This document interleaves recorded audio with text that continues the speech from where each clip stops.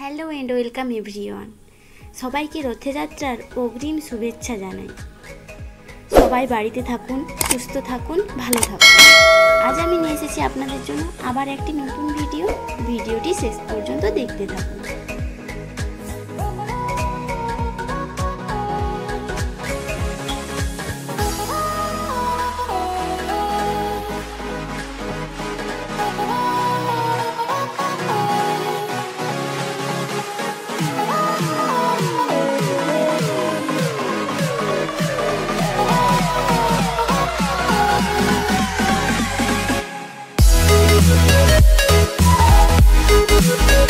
Thank